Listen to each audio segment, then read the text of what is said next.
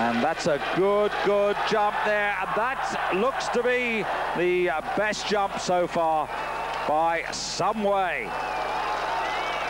So suddenly the competition bringing the crowd alive. 146 from Talberg, and this is 159. Gebstedt of Germany,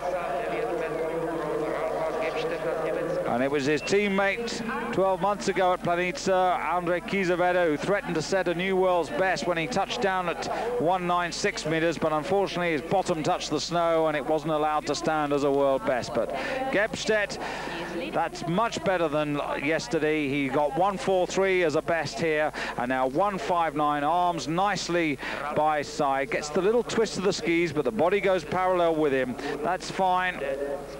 Some movement on the left ski, very difficult to control. But he